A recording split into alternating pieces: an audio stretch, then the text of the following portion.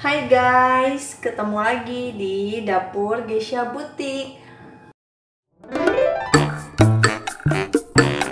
Kali ini aku mau ngolah mie shirataki. Mie ini dikasih sama temen aku. Makasih ya yang udah ngasih mie shirataki dan kali ini aku mau olah menjadi spaghetti bolognese. Langsung aja yuk masak.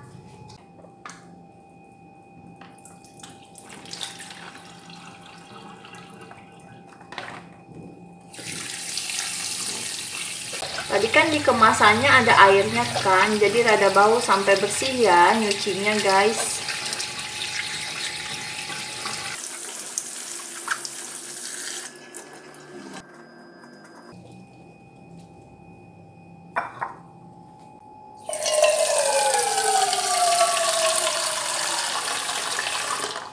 Dan rebus airnya.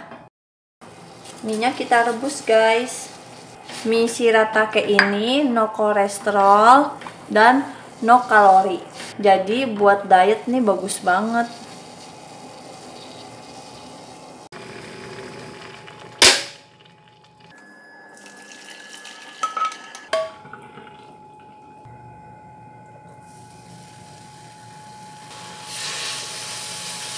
Kita langsung tumis mie nya dan bunyinya mendesis jadi biar kandungan air yang di dalam mie nya nggak terlalu banyak. Kita masukin bawang bombaynya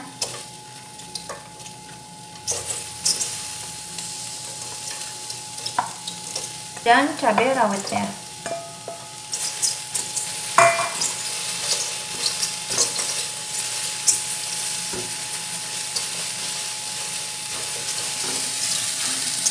kemudian kita masukin jamur enokinya.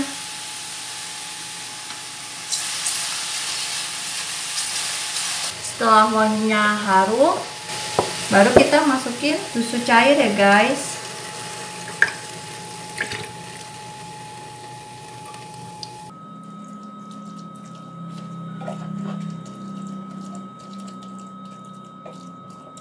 Setelah itu langsung masukin kejunya Tunggu sampai mendidih dulu. Sudah mendidih. Lanjut ya. Kita kasih bumbu bolognese sedikit aja, guys.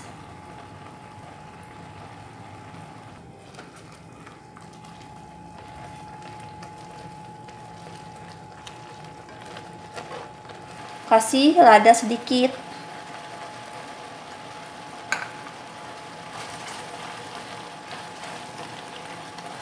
Lalu kita cicipin sedikit deh.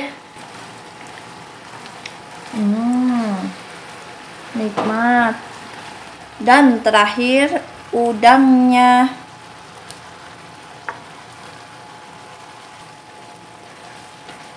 Tunggu udangnya sampai kemerahan ya guys.